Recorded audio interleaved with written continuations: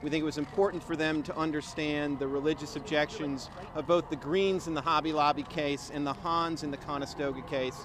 We think that the court obviously uh, took these cases very seriously, took them under consideration. We do think that there are real concerns when the government comes in and takes a position that even a kosher deli that was told that it would have to be open on a Saturday, that they would have no basis to even to get into court and make that claim. That is a very, very difficult argument to sustain. The nature of their argument would also say that a for-profit medical clinic would have no ability to raise a conscience objection, and only if Congress provides a conscience objection would they have been in a position to do that.